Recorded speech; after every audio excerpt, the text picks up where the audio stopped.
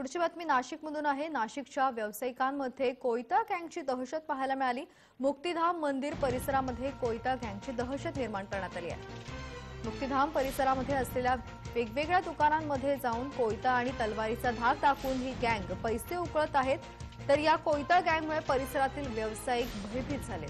स्थानिक व्यापाऱ्यांनी या गँगची बंदोबस्त करण्याची पोलिसांकडे मागणी केली आहे. गुंडांच्या दादागिरीचा व्हिडिओ सीसीटीव्हीमध्ये चित्रित झालाय.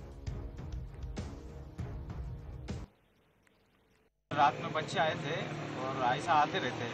महीने में, एक महीने में, डेढ़ महीने में ऐसा आते रहते इससे पहले भी हुआ था और हमने कंप्लेंट भी डाले। थे ये फिर से रात में बच्चे आए थे, मेरे सामने कपड़े की दुकान है।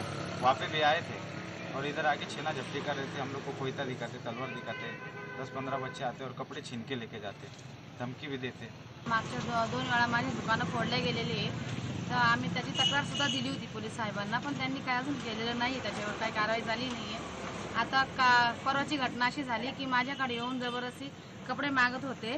पण मी दिले नाही बदलले. त्यांनी काल डायरेक्ट तलवारी तलवारी आणल्या कोयते आणले आणि डायरेक्ट हमला करण्यासाठी पुढं आले होते ते लोक. आणि डायरेक्ट माझ्या दुकानात घुसले आणि माझ्या गल्यातून